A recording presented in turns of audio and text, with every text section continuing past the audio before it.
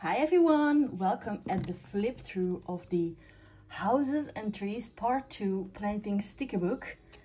I think this is the most requested sticker book ever after Part 1. I just knew I had to make a second version with even more houses and trees. So the sticker book also has 30 different sheets instead of uh, two sheets of each design. Um, the stickers are matte transparent and there are also a lot of paper boxer stickers in here. So let me show you how this beautiful sticker book looks like. I'm so excited to finally show this to you and share this. It's been a long time. Let's go. Let's start with the first page.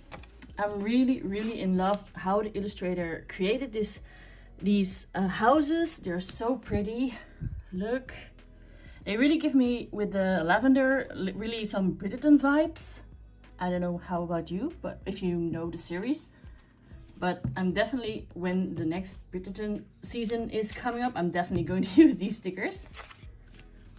Then a lot of grass, fences, lavender, bushes, pretty small. So this is all our matte transparent stickers. And look at this. I'm so in love with these cute Moroccan house types. I'm, I'm really loving them. And these cute little monkeys. And of course, matching palm trees.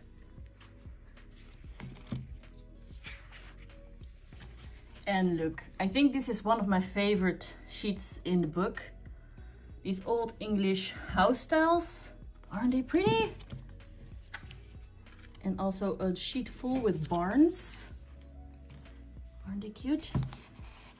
And of course, matching trees and some bushes. Okay, so these sticker sheets are really my favorite. Like old American type style houses.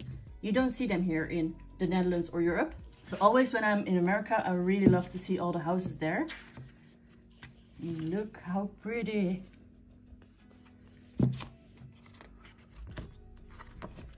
And also a little bit Amsterdam kind type of houses.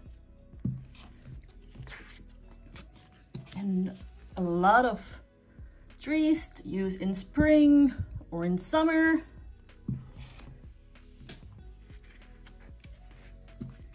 and also these trees in autumn version. I really can't wait for autumn. As you maybe know, autumn and winter is my really favorite seasons. So I really can't wait to decorate my planner with autumn stuff.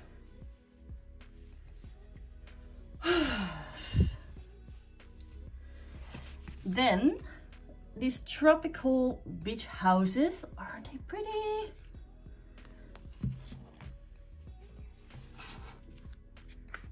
and of course matching palm trees. Then we're heading to winter houses.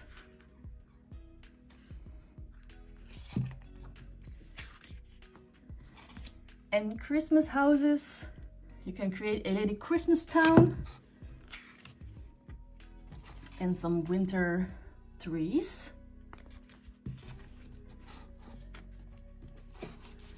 I really was in love with these trees. They were looking so unique and beautiful colors. I think I would use these in a spring spread. And also a little bit funky town. with beautiful bright colors, all types of houses like schools, restaurants, university, post office, theater, hospital, and some other pretty houses.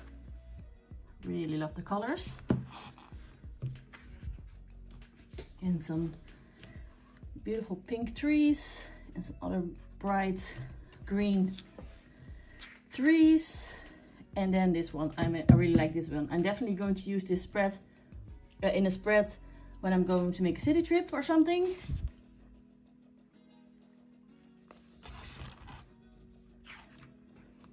some more autumn trees.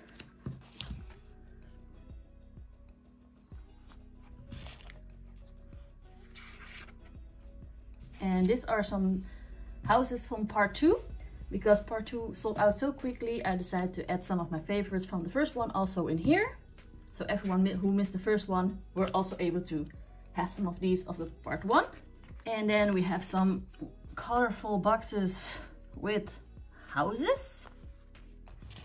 This is all, all, all paper sheets and some more in the same colors, the trees, and then also a sheet without any illustrations, more in some different shapes. And I also decided to go with some more um, pastel grays and blues and beige for like winter so you can more use them in, in spring, in, in summer and these are more I think for winter and autumn. Also in different shapes. So this is the new Houses and Trees Part 2 Planything Sticker Book. I really hope you like it. It is available to order with this new uh, release for $20 in the Planything webshop at planythingshop.com. I really can't wait to see you all creating spreads with this again. Please don't forget to tag me in your stories and your spreads on Instagram so I can share them and see them. Thank you for watching this flip through. See you at the next one. Bye!